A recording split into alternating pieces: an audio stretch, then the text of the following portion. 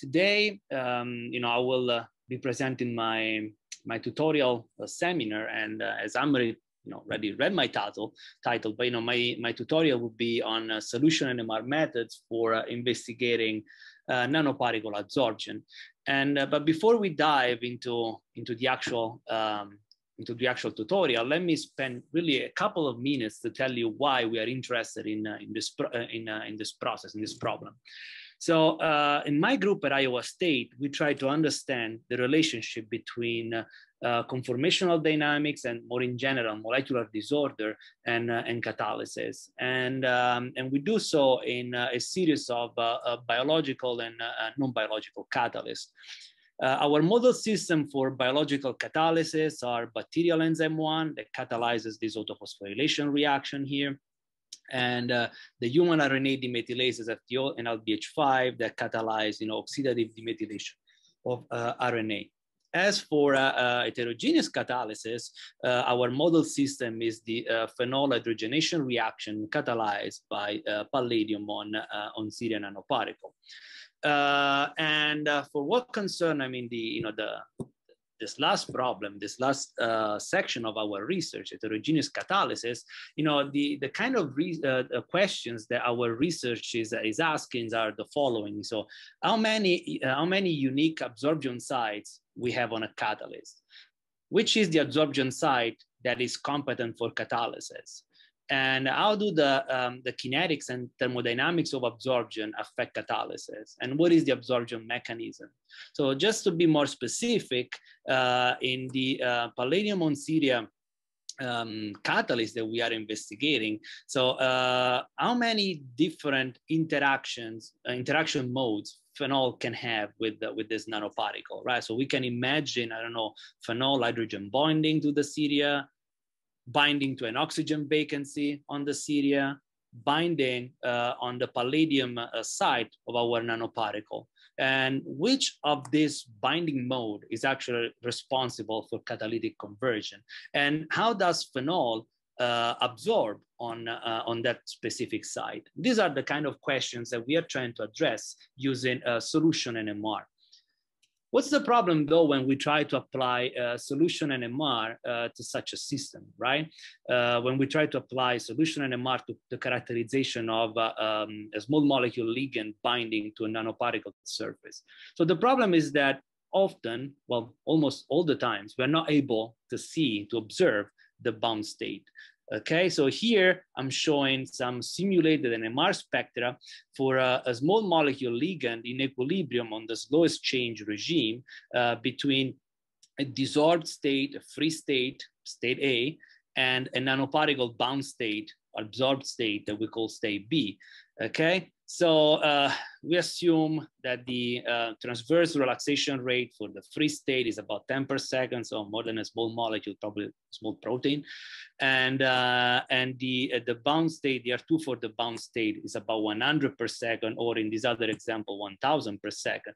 And you can see that even if uh, if uh, uh, our two uh, states are equally populated, so we have 50% of our small molecule is in uh, the desorbed state and 50% of the small molecule is in the uh, absorbed state, and we are in the slow exchange regime, we can barely, I mean, we cannot observe basically the signal of, of the bound state because it will be, under, will be under the experimental noise, the um, spectral noise.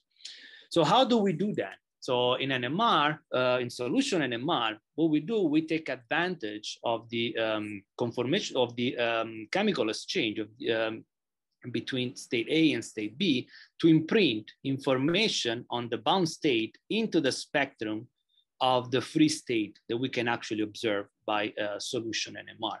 So uh, before we uh, start um, introducing the, the methods, the solution NMR methods that we use in order to, uh, to achieve this, let's look at how um, the exchange between the desorbed and absorbed states affects the signal of uh, state A, of our uh, state, okay? So here, uh, I'm showing uh, the simulated NMR spectra uh, for uh, for a, um, a, small molecule in exchange between the desorbed state A with again an R2 of about 10 per second and uh, an absorbed state uh, B with uh, an R2 of about um, you know 100 per second. The population of the two states are taken to be uh, 50 50% uh, state A, 50% state B in this you know uh, far more mm, um, in this um, example on the on, on the left. Here in this other example, so the, the equilibrium is considered to be skewed uh, toward the, um, um, the free state. So we have a 99% free state, 1% bound state, okay? Uh, going from bottom to top, uh, I'm uh, uh, increasing the exchange rate. So we go from the slow exchange regime, so our small molecule is exchanging slowly from the free state to the bound state and vice versa uh, to the fast exchange regime at the top. So the exchange is fast between the two species, between the two states, okay? So starting from the, uh, from the uh, slow, um, the slow exchange regime, sorry, somebody's calling me, of course, now, let me, so uh, not disturb, sorry. So, and uh, uh, okay, so if we start from this slow exchange regime, um, uh, we can see that, of course, in this slow exchange regime, we will have two NMR signal, one for the free state, the other for the bound state, and uh, the R2 for uh, the observed um, for uh, for the observed signal, right, for a state A, uh, will be given by the intrinsic R2 of the free state, so the, the R2 of the small molecule in the absence of, uh, of any exchange or in the absence of nanoparticle, plus uh, a contribution that we usually call lifetime line broadening, uh, which is due to the exchange with a species with a, uh, with a, a larger molecular weight, with a larger R2, okay? If we are in the fast exchange regime, we do not observe two signals, right? We, don't, we only observe one single signal at the population weighted chemical shift, okay? And these signals will also have a population, uh, population weighted R2, right? The R2, the observed R2 for this signal will be um, the average, the population average R2 of state A uh, and state B, okay? However, we usually uh, we, uh, mm, we refer to this observed R2 in reference to the R2 of the free state, okay? So more often, instead of using this equation to refer to, refer to the R2, to the observed R2, we, uh, we use this other equation down here, okay? In which the observed R2 is seen as the R2 of the free state, R2A, plus again, this uh, lifetime line broadening, this contribution due to the exchange uh, with um, a species with a higher R2 rates okay? If we are in the intermediate uh, exchange regime, now our observed R2, the R2 uh, for our observed signal uh, will be uh, given by, would be uh, affected by two contribution, right? We're gonna have the, uh, the lifetime line broadening contribution coming from the exchange with the species with, the, with a higher R2 rate, plus we have the exchange contribution to the R2 which is coming from um, um, the exchange on the micro to millisecond time scale in this intermediate exchange regime uh, between two species with different chemical shift, okay? So what I want to uh, stress out now is that uh, while the uh, exchange contribution to the R2 comes from a difference in chemical shift between state A and state B, the lifetime line broadening contribution comes from the exchange between two species with different R2, okay? So this uh, lifetime line broadening contribution is observed even if the difference in chemical shift between the two states is zero, okay? That's very important to remember. So uh, therefore, I mean, we can see that even if we cannot directly observe the um, uh, you know the bound state in uh, in solution, the NMR signal of uh, uh, of the visible state uh, it is strongly affected by the interaction, so that we can detect the interaction uh, just looking at you know the NMR signal of the um, that is left in solution, the observable NMR signal. Okay. And uh, um, the extent at which this uh, signal is affected by the interaction, of course, depends on the parameters of, uh, of this interaction. We have seen that depends on, uh, on the, um, um, the exchange regime, it depends on the populations uh, of the free and bound state. Usually the higher is the population of the bound state and you know the, the larger is the effect, uh, the observable effect on the visible state, on the visible signal. It also depends on, uh, um, also depends on uh, uh, the R2 of the bound state, okay? So if the R2 of the bound state is small, okay, is relatively small, let's say 100 per second in this example, in order to see an observable effect on our visible signal, we have to crank up the population to higher value, right? The, the PB, the population of the bound state to higher value.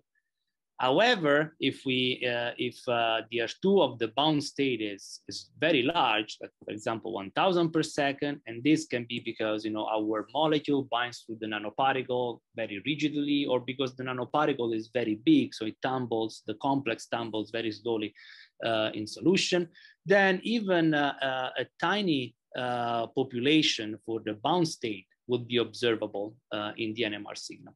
So the bottom line is that uh, you, when you prepare your NMR sample, you really want to, uh, to adjust the amount of nanoparticle that you add in solution in order to, to achieve an observable effect on the visible state, on the visible NMR signal, without uh, completely broadening out, right, your, your NMR line. So you really need to adjust uh, your, uh, your sample condition and that needs to be done specifically per each system that you are investigating. However, once you, you are able to get a, a, a sample, right, uh, um, that, you know, that uh, in which you can observe, you know, this uh, um, the the effect of the interaction on the visible NMR state. Then we have a portfolio of uh, uh, of, uh, of NMR experiments, uh, ligand detected NMR experiments that can be applied to characterize, you know, this um, um, ab nanoparticle absorption, ligand absorption on, on, on, nanoparticle surfaces. And here I'm reporting a few of them. Okay, so you can see that um, some some of these experiments so the choice of the experiment really depends on uh, the exchange regime in which we are in and also depends on uh, the physiochemical properties of, uh, of your uh, system under investigation right? So, uh, it would depend on how soluble your nanoparticle is you know what kind of solvents you can uh, you can use for um, um, you know resuspend your small molecule and nanoparticle and so on okay uh, and again, it depends on, uh, on the, um, the specific exchange regime that you are in. If you are in the fast exchange regime, you probably want to use chemical shift perturbation. If you are in, uh, in the slow exchange regime, you probably want to use uh, analysis of peak intensity. Um, we can see here these are uh, these are uh, saturation um, transfer type of experiment, STD and DEST. They work better in uh, um, in the slow exchange regime we have relaxation dispersion type of experiments that work better in, uh, um, in the intermediate exchange regime and so on. We currently have a, a, review under, under revision now in which we describe in great detail each experiment uh, shown here. Um, today, I do not have the time to describe all of them, so I will just focus on the DEST experiment, and the uh, CPMG uh, relaxation dispersion type of experiment, which is you know, the, the, the, two experiments that we apply the most in, uh, in my group to study um, uh, surface absorption. Okay, so let's start with uh, uh, the um, CPMG relaxation dispersion experiment. Um, this experiment became very, very uh, popular in the um, investigation of uh, um, of conformational equilibria in proteins, conformational equilibria occur on the micro to millisecond time scale. And this experiment was made popular mostly by the work of uh, uh, Lewis Kay and Art Palmer. Um, so in here, I'm showing the pulse sequence that we use in my group uh, to study, to um, acquire 1D carbon CPMG uh, experiments on um, small molecule nanoparticle systems. If you want, you can download, um, um, you know, the Pulse program in Bruker format uh, from our website. Uh, but anyway, so it's pretty uh, basic pulse sequence. What we do, I mean, we apply, uh, we have an INEPT, uh, an INEPT uh, block to generate um, some transverse carbon magnetization. Then here we have the CPMG block, and then we have a retro INEPT for um, acquisition of proton. So, um, you know, the magic is performed by uh, the CPMG block in which our transverse magnetization is um, um, under, uh, undergoes a series of uh, uh 180 degree refocusing pulses spaced by a delay uh, to tau uh, that you can see here. So in, um, in um, a conventional relaxation dispersion experiments, what we do, we build this relaxation dispersion curve uh, that consists in uh, a series of R2 measured using uh, the sequence at different value of tau, okay? So here, basically I'm plotting the R2 versus the CPMG field. So the CPMG field is equal to one over four tau. Uh, therefore, I mean, high CPMG field would correspond to a, a small value of tau. Low CPMG field will correspond to a long delay tau, okay? Uh, so if uh, our system undergoes a conformational equilibrium between two states, A and B, with different chemical shift, and the equilibrium occurs on, on the uh, micro to millisecond timescale regime, uh, in the relaxation dispersion curve, uh, we will have a curvature. And the reason is that, you know, um, increasing the CPMG field we are able in this condition when uh, the system undergoes a change under this condition increasing the cpmg field we are able to progressively suppress the exchange contribution to, to the transverse relaxation rate okay? So that we will introduce this curvature in the uh, in the relaxation dispersion curve. And the exchange contribution to the r2 could be in theory measured by taking the difference in R2 between the R2 measured the low CPMG field and the R2 measured the high CPMG field. Of course, if your system, our system doesn't undergo conformational equilibrium in this exchange uh, regime, or if delta omega, so the difference in chemical shift between state A and state B is zero, then we will observe a flat, uh, a flat line, no curvature in the relaxation dispersion curve. So if we now move to uh, the analysis of, uh, uh, of a small molecule nanoparticle system, we have two contributions, right? So we have the exchange contribution to uh, the, uh, the relaxation rate that can be suppressed by increasing the CPMG field. And we have the uh, lifetime line broadening, right? That is not affected by, by the CPMG field. So if we compare the relaxation dispersion uh, curve measured in the absence of, an, of nanoparticles. So here in blue would be the relaxation dispersion curve observed for just the ligand, so for just state A in the absence of nanoparticles. So we see a very, uh, we see a flat uh, relaxation dispersion curve because there is no interaction uh, going on. Okay, there is no equilibrium, um, exchange equilibrium going on. So we see a flat curve. Okay.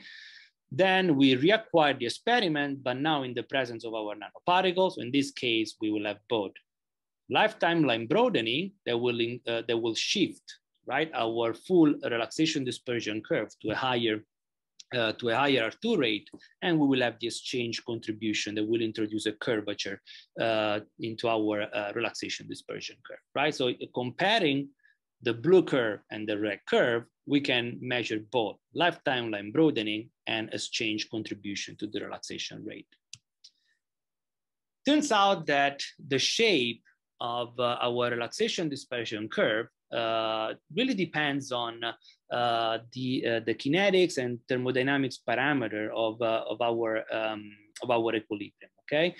Uh, therefore, even modeling the relaxation, the shape of the relaxation dispersion curve is a big source of information, right? Um, for the thermodynamics and kinetics of our, uh, of our nanoparticle absorption process. So how do we do that? So in order to, to model uh, the um, uh, you know relaxation uh, dispersion profile, what we do, we use uh, uh, you know the Bloch McConnell theory, right, to simulate the effect uh, of um, perturbations such as you know the chemical shift, relaxation, um, um, transverse relaxation, and um, and and um, the kinetics of the equilibrium on the transverse magnetization of state A during, uh, during the, um, the CPMG experiment, okay? And a script, a MATLAB script that, you know, solves this math, it's, you know, there are several of these scripts or programs that solve this, you know, the Bloch, uh, the Bloch McConnell equation. Uh, one of them is provided even you know, by, by our group, so you can download our script um, from um, our MATLAB script from our um, group webpage okay? So uh, what are the relevant, um, the, the relevant matrices here? So what, you know, what, what are the relevant parameters entering? So in this R matrix here, these are the perturbations that are applied uh, to our magnetization during, you know, the CPMG uh, block, okay? So, and my mouse, here we go. Okay, now it's working again. So, and uh, these are, you know, the three uh, relevant matrices, okay, in this um, when you read this matrix, okay, so one easy way or, you know, one, one figurative way that you can apply is that each row, right, will refer to uh, a particular um, active, uh, um, to, to, a particular active state, okay? So if you go here, you can see that the first row will refer to the, to state A, second row in each matrix will refer to state B, okay? So uh, in this uh, uh RCS matrix, what we uh, what we input, basically what we have, we have the um, the chemical shift difference between some reference state and our active state. Okay, so in the first row, so if we take uh, as um as um, um, the reference state, let's say state A, so the first row on the diagonal, we will have the chemical shift difference between our active state for the first row is state A and our reference state that we took A as a reference state. So it would be zero, right? Because it would be the same chemical shift. On the second row, in, on the diagonal, so we will have the chemical shift difference between the active state, in this case, state B, right? We are in the second row, and our reference state, and which again is state A. So in the, in the diagonal, we will have the chemical shift difference between state A and state B. In this relaxation matrix on the diagonal, we will have uh, uh, the, um, the transverse relaxation rate for our active states, okay? So the first row, our active state is state A. So on the diagonal, we have DR2 for state A. On uh, the second row, we have on the diagonal, so the active state is state B. So on the, uh, on the diagonal, we have DR2 for state B in the exchange matrix, what we have, we have the, uh, the rate constant, right, for uh, uh, the uh, exchange equilibrium. In particular, on the diagonal, we have the rate that takes magnetization away from our active state. Again, for the, for the first row, the active state is state A, so on the diagonal, we have the rate that takes away magnetization from state A. So the KAB, or K on, will take magnetization from A to B, right? So it's taking magnetization away from state A, so it will be on the diagonal. For the second row, on the diagonal, we have KBA because the active state is state B. And so we have on the diagonal, the rate that takes magnetization away from B, from B into A, right? Off diagonal, are uh, the, uh, the rates for those processes that take magnetization into the active state. Okay, so for the first row, the active state is state A. So off diagonal, we have KBA that is taking magnetization from B into A, right? And for the second row, right, we have KAB. So the, um, the rate for the process that is taking magnetization from A into B. Okay, so when basically what we do uh, in, um, in a conventional experiment, we acquire some relaxation dispersion data experimentally, and then we use the Bloch uh, McConnell uh, theory to try to uh, optimize these parameters uh, so that our simulated curve matches our experimental data, you know, as close as possible, okay? So usually uh, R2A, it's, it's the, the transverse relaxation of, uh, uh, of uh, state A that can be measured experimentally, simply measuring DR2 in the absence of nanoparticle. So this is something that we can measure experimentally and you know input um, input directly into the matrix as a number, not as a floatable parameters. Usually the other uh, parameters are optimized uh, by uh, a fitting procedure. So once we have obtained the kinetic parameters for our, uh, for our equilibrium, we can apply the following two equations, right, uh, to um, measure, to actually um, calculate the thermodynamic population PA and PB, right? So you can see that by solving uh, the Bloch-McConnell equation, uh, we obtain uh, uh we obtain important information on uh, on the um, on the thermodynamics and absorb and, and kinetics of the absorption process. We get you know k on, k off, and populations for for the two states A and B. And we also get uh, information, important information, more structural information, such as you know the R2 of the bound state and the change in chemical shift uh, going from state A to state B. Another important aspect of this Bloch-McConnell theory is that um, you know we can expand uh, these matrices in order to account for more complicated um, um, absorption mechanisms okay? So the idea is always the same but you know we can uh, we can include you know a third state for example state c into the picture and uh, and um, and again we can simply expand the matrices by incorporating this additional state i just want to point out in the uh, in the um, exchange matrix here you can see again on the diagonal we have all the rates that take magnetization away from the active state. For example, first row would be state A, right?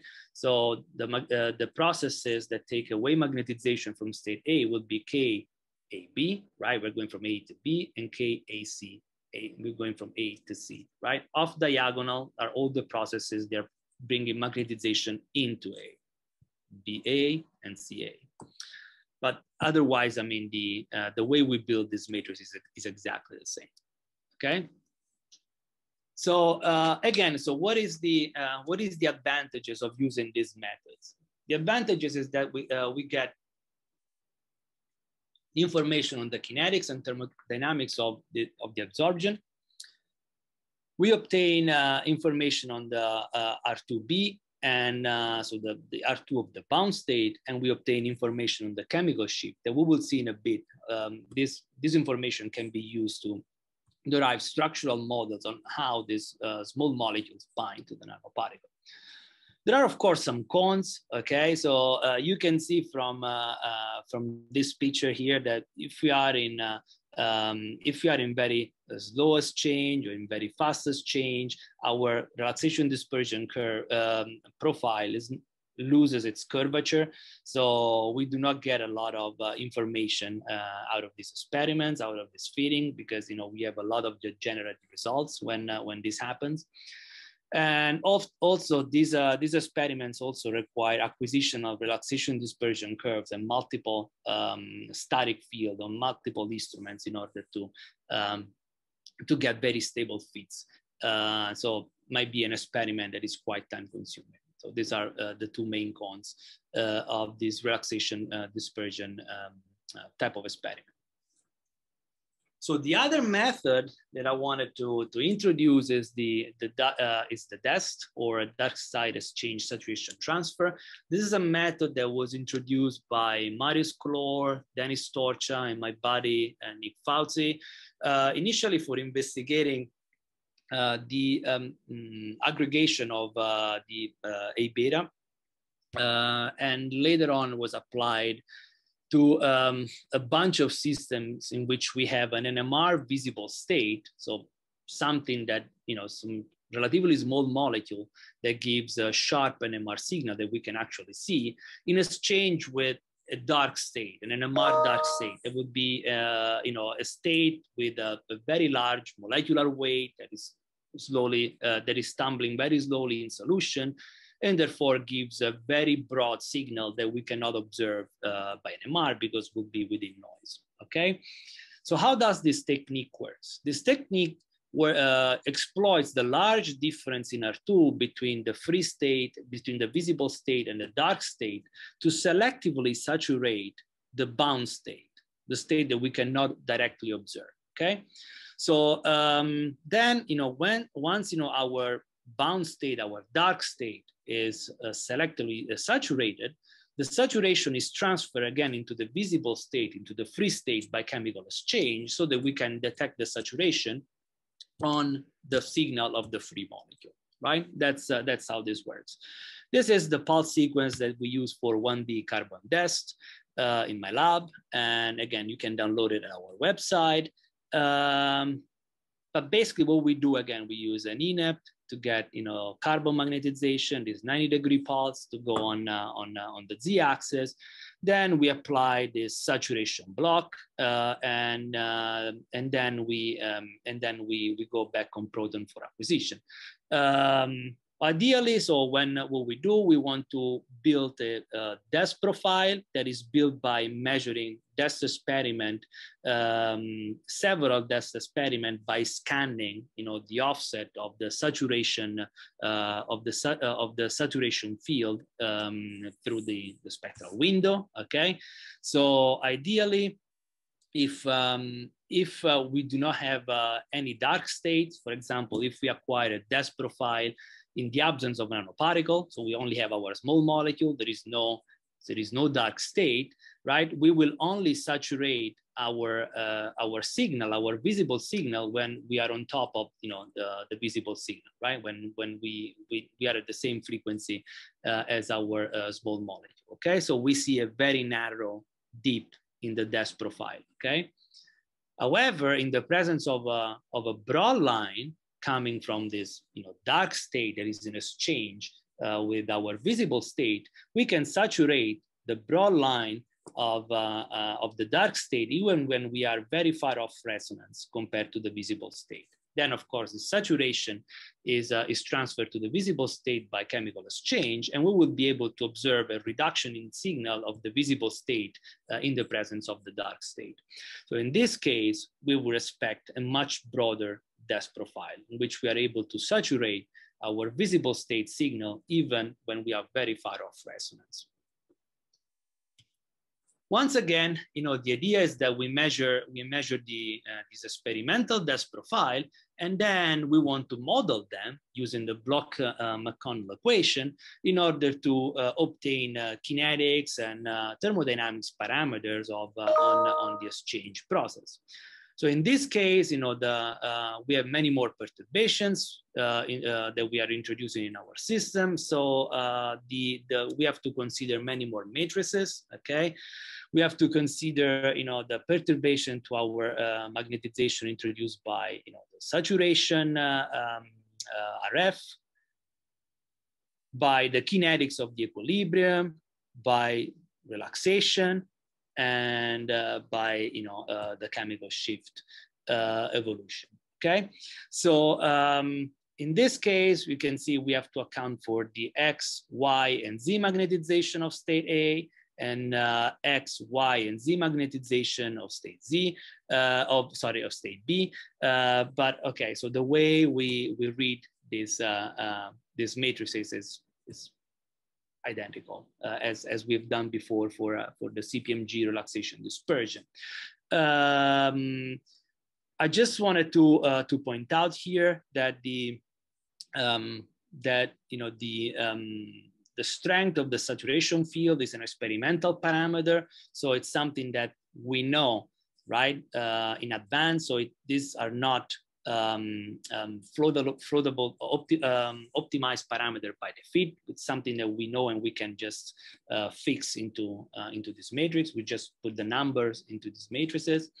Um, um, also, same for R2A, R2A and R1A. These are uh, the transverse and longitudinal relaxation for uh, um, for the visible state A that can be measured experimentally by measuring R1 and R2 in the absence of nanoparticle.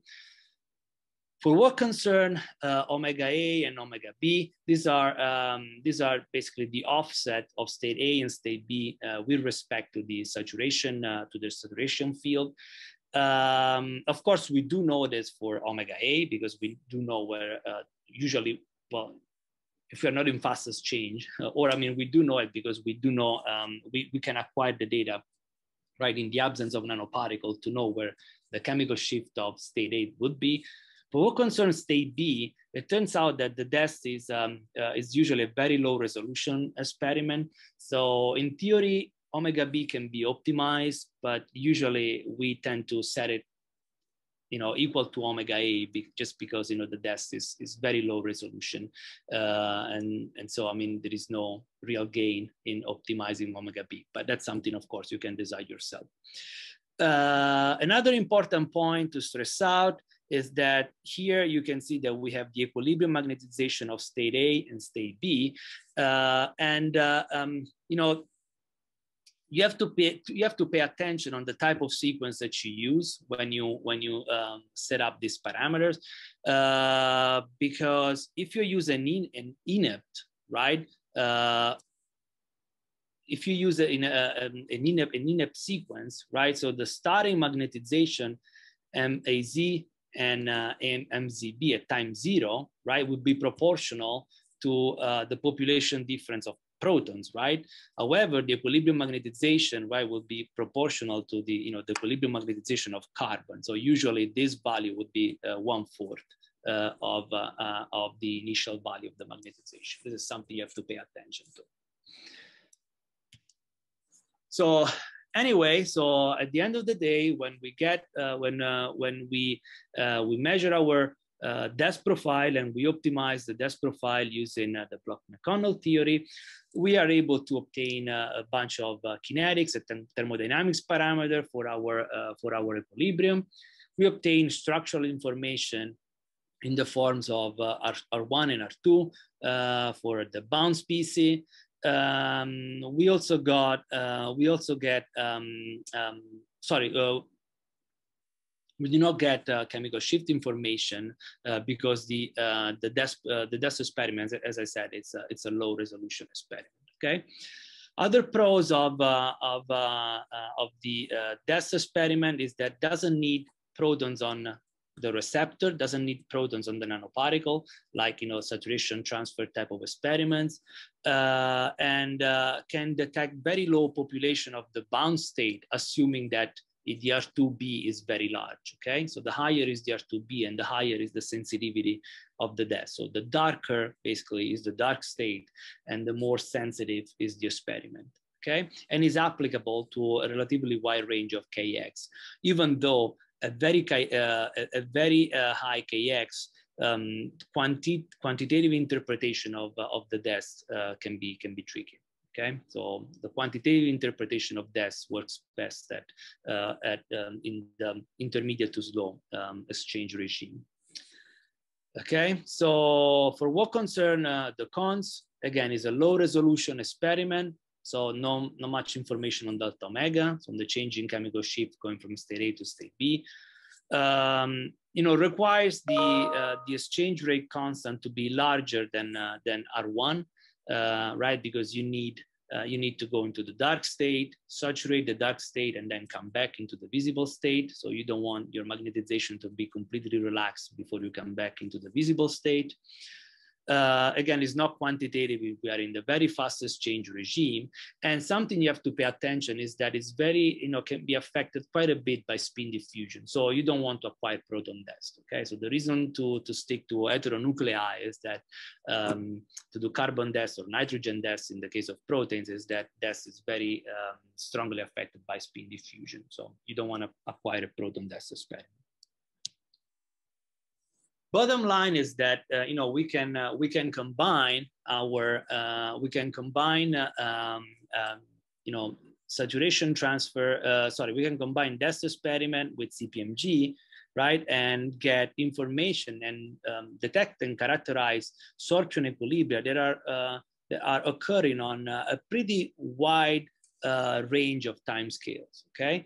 Also, the advantage of combining the two experiments is that you can see they kind of depend uh, on uh, similar um, thermodynamics and kinetics parameters. So combining the two experiments together and feeding all the data together really helps the fit to converge to, uh, to a single solution.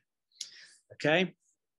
Another important uh, uh, aspect, uh, as I mentioned a few times now, of um, you know modeling this DEST and uh, relaxation dispersion experiments is that we obtain structural information in, uh, in terms of uh, um, um, um, longitudinal and transverse relaxation rate for the bound state R2B, okay? Indeed, what we can do once we have um, values for R1, uh, R1B and R2B, right? So we can model this longitudinal and, uh, and relaxation rates of, uh, of the bound state using uh, the model-free approach, okay? Uh, to, to obtain information on, on the order parameter of, uh, uh, of um, this spin system that we are analyzing. For example, um, here we have the equation to, uh, to, um, to link the R1 and the carbon R1 and R2 for uh, isolated uh, CH bond vectors, such as the one, uh, the ones that we have in, uh, in phenol, to relate these R1 and R2, carbon R1 and R2 uh, to the order parameters. And similar equations can be developed even for more, more complicated um, spin system, and they're out there in the literature already okay? Uh, so what is the um, what is the advantage of doing so? The advantage of doing so is that if we if based on uh, our uh, r1 and r2 of the bound state we obtain an order parameter which is close to one we know that our ch bond vector you know that uh, is uh, uh, tumbling with the same correlation time as the nanoparticle okay? Therefore, we know that our CH bond vector is rigidly attached to the nanoparticle. If we obtain uh, an order parameter, which is uh, similar, you know, close to zero or a small order parameter, then we know that our CH bond vector is flexible with respect to the nanoparticle okay and therefore i mean based on uh, on this value we can start uh, making assumption on the way our small molecule uh, binds to the to the nanoparticle surface so uh, after I've introduced all the, these techniques, I want just to use the last five, five minutes uh, to, to show you how you can, uh, you know, a, a more applied uh, example to, to really show you how um, these techniques can be, uh, can be applied to solve um, something more practical, right? Uh, and we're gonna make the example uh, we're going to use as an example, you know, the phenol absorption on uh, on uh, palladium on the palladium on ceria nanoparticle. As I mentioned before, uh, this nanoparticle palladium on ceria is in presence of hydrogen is able to reduce phenol into cyclohexanone and cyclohexanol. So uh, this is a study that we have performed in collaboration with uh, the Igor Slowing group in the Ames lab. And uh, Igor's group is responsible for uh, the synthesis and catalytic characterization of, uh, of this nanoparticle. We are responsible for, uh, for the NMR side of, uh, of, of, the project. Uh, so the nanoparticle that we are analyzing are um, basically a ceria nanoparticle of cubic morphology, about 25 nanometers diameter. And on top of this nanoparticle, you can see here, these darker spots are uh, palladium sites of about uh, two nanometer. Uh, they're deposited on, uh, on this ceria support, okay? This looks like more of, like a chocolate chip like uh, cookie, right? In which, you know, the, uh, the palladium would be the chocolate, right? And the ceria would be the cookie. Okay, so in our naive idea, we thought, okay, so we just resuspend, we just uh, add um, phenol to a suspension of these nanoparticles. We go to the NMR, we measure these ligand detected NMR experiments, we model them, and we get the answer that we want. Turns out that the situation is a, is a little bit more complicated. Indeed, um, nanoparticles usually do not like to, to stay in suspension. They over the time, they will sediment at the bottom of uh, the NMR tube. And this was causing serious problem to the stability of our NMR experiments. You can see uh, already after 30 minutes, uh, you know, the NMR signal was changing because of uh, this nanoparticle sedimentation.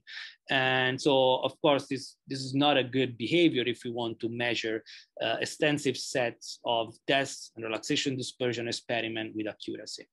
So our solution was to develop uh, a series of um, of uh, uh, gelators. Now, okay, here I just say aqueous gel. Now we have gelators that work that work even for organic solvent. But anyway, our gelators uh, uh that you can find uh, here in these two publications are able to trap the nanoparticle in suspensions so that we can now acquire very stable uh, NMR uh, signal even uh, over you know 30 days. Okay, and we have therefore enough time to acquire accurate sets of uh, uh, relaxation dispersion and DEST experiments.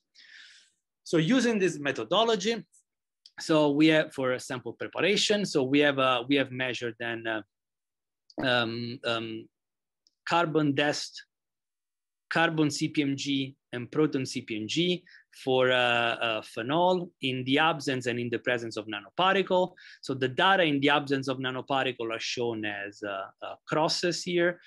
You can see here and here. So all the, all the crosses are in the uh, data are measured in the absence of nanoparticle. When we add the nanoparticle, we remeasure the data and now we show the data as circles, okay? Uh, on the left panel, I'm showing the data measured for just the ceria in the presence of just the ceria support. On the right side, I'm showing the data uh, measured on the palladium and ceria nanoparticle. Okay, in both cases, you can see that we can detect the interaction using these methods. In fact, you can see that you know the DEST profile got wider but broader when we add the nanoparticle. The relaxation dispersion, both relaxation dispersion curves, I mean, went up right? Uh, because of the lifetime line broadening, and also especially the, the relaxation dispersion curves measured for protons show this um, this this curvature, right, uh, which will indicate an exchange contribution to the relaxation rate. Okay, uh, and you can see that these observations also true for both uh, nanoparticle systems. So of course, though, you know, the, the real power of these experiments is in, uh, in modeling the experimental data to obtain, you know, kinetics and thermodynamics information on, uh, on, uh, on, the, on the interaction, okay? And uh, we have done so, you know, these are, this is the modeling for uh, the data measured in the presence of the ceria nanoparticle, okay? So you can see here in uh, these dashed lines are the modeling using a two-site exchange uh, equilibrium. And you can see that this two-site exchange equilibrium is not a good model for our system. You can see that we are not able to model you know, the relaxation dispersion profile very accurately using a two-site exchange model. But we have to use a three-site exchange model uh, to uh, fit, to reproduce our experimental data, okay? So uh, the parameters obtained for this three-site exchange model are uh, obtained here, they are shown here. You can see that we can measure, uh, we obtain, you know, K on, K forward, and K reverse for uh, each equilibrium. I want to say that K forward and reverse for uh, the equilibrium that goes from state A to state C was zero in both cases. So we just um, show the equilibrium as a, a linear, um, uh, the, this three-step equilibrium as a linear uh, equilibrium in which we go from state E, from state A to state C through state B, okay? Uh, we also got populations for uh, the three states, okay? And what is important, I mean, we also got, uh, based on the uh, relaxation rates for, uh, uh you know, the phenol bound to state B and state C, we could go, we could get order parameters, right, for uh, the CH bond vectors uh, in, in these two different states. For state B, we get the same uh, order parameters for the ortho meta and para position, and we get an order parameter very close to zero for the three positions of, phen uh, of phenol. And this would be consistent with a very disordered binding mode, okay, in which you know the uh, the uh, the three position are all very flexible with respect to the nanoparticle surface. So we think that this uh, that this um, uh, order parameter would be consistent uh, with hydrogen bonding of phenol uh, to the surface of ceria. You can see that now we have three rotatable bond that will give plenty of conformational freedom uh, to this three position of of of, um, of, of phenol. For what concerns the binding mode uh, uh, C though, we have three different order parameters. So for the ortho and meta position, we get an order parameters of about order parameters of zero. For the para position, we get an order parameter of one. And this is causing, right? So you can see the carbon 13 or two of the para position to be much higher than the ortho and meta, okay? Uh, so what happens here is that basically uh, you know, the ortho and meta position are reorienting very quickly with respect to the nanoparticle. However, you know, the, the para position is rigid with respect to the nanoparticle. And I think we believe that this is consistent with uh, this binding mode here in which phenol is uh, binding to the, an oxygen vacancy on the ceria support. In this case, we only have one rotatable bond. And for uh, our solid state folks, I mean, you can see that, you know, the ortho and meta position and meta position are basically rotating at the, uh, the magic angle with respect to the nanoparticle, uh, mm, you know, uh, respect to the nanoparticle, while the para position uh, would be rigid with respect to the nanoparticle because rotation above this bond doesn't reorient uh, the CH uh, bond vector with respect to the nanoparticle surface. So we could do the same exercise now for, uh, uh, for the palladium on ceria nanoparticle. Again, uh, we get uh, K forward and reverse for each uh, equilibrium. But now what is interesting is, is again that we obtain uh, you know, an order parameter for the ortho meta and para position in this in this um, state B, which is close to zero, again, consistent with this hydrogen bonding type of interaction. But for, uh, uh, for uh, state C, now we obtain uh, an identical order parameter for the three, uh, for uh, the orthomet and para position, and this order parameter is close to one, meaning that, you know, the, you know, all these bond vectors are rotating at the same correlation time as the nanoparticle, so are moving as a single body with the rest of the nanoparticle. And we believe this is consistent with a, a, a, a the binding of phenol flat on, uh, on the surface of uh, uh, the metal side, which was uh, suggested by ab initio calculation by another group. So I want to skip this, but you know, um, another thing, you know, um, that we could um, we could do, you know, of course, I mean, we wanted to test uh, our that our binding modes were were correct and the way we did it is by adding adding um, phosphate to our uh, to our solution and reacquiring all our data in the presence of 20 millimolar phosphate. Uh, phosphate is known to interact very strongly with the ceria support, but to not have a lot of interaction with the palladium side. Therefore, we were expecting uh, phosphate to disrupt uh, at least partially, you know, the interaction between phenol and ceria and do not affect the interaction between phenol and the palladium side. And by repeating our experiment, modeling the data, this is indeed uh, what we have uh, uh, what we have found. So we have found that you can see, so adding phosphate, um, we disrupt binding of phenol to the ceria support. In the case of, you know, uh, binding of just the ceria nanotube, we can see that this hydrogen bonded interaction goes from 5.2% to 2.5% population. And, uh, you know, this uh, um, binding to the oxygen vacancy is almost completely disrupted. I mean, we, we, cannot, we cannot detect it anymore, basically, uh, by our method. For what concern uh, the uh, you know the palladium in ceria, by adding phosphate, we can see that we cut the population of this hydrogen bonded state almost you know by 50%, going from 2.2.3 to 1.6%. However, we do not affect binding uh, to the to the palladium site, which, which is consistent with you know this uh, suggested binding mode. Um, we were also able to, to do some uh, uh, to the, to use our data to um, to um, uh, investigate or uh, to address the question of which is the binding mode that is more uh, relevant for catalysis. But uh, I already uh, went over time, so I'm, I will not I will not talk about this this last topic. This is just a last example, uh, and I'm gonna stop here for questions. thank you so much for that really nice talk. So with that, maybe we can get into the questions. Uh, there is one in the Q&A window. I don't know if uh, you can already see the question mentioned, so if you can pull your Q&A window open, but I'm happy to read it as well. So how is the CPMG relaxation dispersion pulse sequence affected by pulse imperfections? And how yeah. many pulses are typically applied? And do you need to apply special phase cycles to compensate for imperfection? This is a question yeah. from Fred Pera. Yes. Uh, yes, I mean, the CPMG especially for uh, for you know when we sorry I, probably I will just stop sharing. Uh, so especially for uh, for the carbon, yeah. So you have a pretty large uh, spectral window right that, that, you have to cover.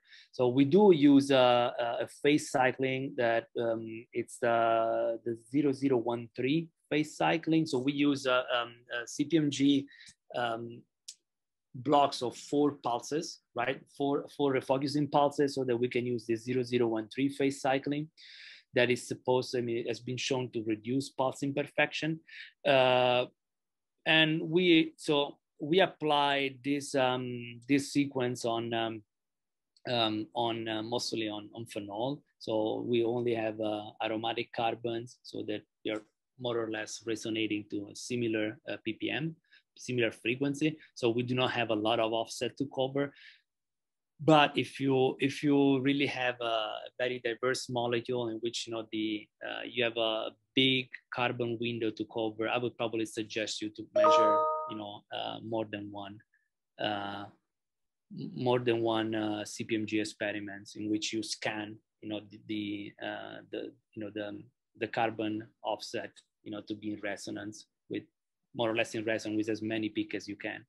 Um, and that, that's my suggestion because I mean, otherwise we would start introducing oscillation into your uh, into into your relaxation dispersion curves, right? And and those uh, oscillation they might, uh, you know, they might introduce feature that you might try to fit, but those are, are artificial features, so they can really drive off your fits.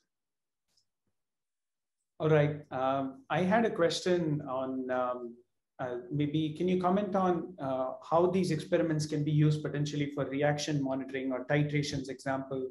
Um, for example, in cases where you have ligands that are bound to the surface of a nanoparticle and more when you're studying desorption instead of adsorption. Uh, mm-hmm. So if you add a third uh, reactant in there and then the reactant reacts with some of the ligands on the surface and then they get desorbed or adsorbed, so can you maybe comment on some of that? Yeah, I mean, you can, uh, uh, okay. So reactions, you can do that, of course, right? Uh, the, the problem is that you want this, this kind of experiments are, they work best if you have uh, an equilibrium, right? If you have a reaction that, you know, you're continuously um, degrading your subs or your reactant to form the product, right? So it, it would be tough, right, to to model that, right? Because you you will have one peak that is continuously increasing in intensity, another one that is continuously decreasing in intensity, right? And uh, so I would say that the challenge would be to keep to find something that is at equilibrium, right? Yeah, yeah, that makes sense. Uh, I think I also had another question about uh, just thinking more about DEST. Um, has anybody studied or uh, can you comment on uh, how you could potentially use DEST for studying uh, liquid solid interfaces, for example? So if you have interactions between a liquid uh, to solid, I mean, it's kind of a little bit more further extension from thinking about a rigid or a heavy nanoparticle. I, okay, uh, I do not remember the specifics, but I think Nick Fawzi has used uh, uh, has used DEST to look at um, the exchange uh, of um, um, some proteins from two different phases. you know, from uh, uh, from you know the solution phase and this aqueous phase at this aqueous nano droplet that some of these proteins that is is investigating are um, um, undergo um, form. But you are you are saying something like the exchange between uh, a liquid phase formed on uh, on the top of a solid with the rest of the solution. That's what you're mentioning. Yeah, exactly. Yeah. I'm not aware of uh, of of, uh, of this being used for for that. Okay. Yeah, just just curious. I was just kind of thinking more as an extension from the nanoparticle. Mm-hmm. Well, um, you know, there are there are studies in which you know um, this has been used to study. I don't know protein uh, interacting with chaperones, with um, um, membranes, uh, how you know proteins move on top of membranes or uh, lip- liposomes and so on.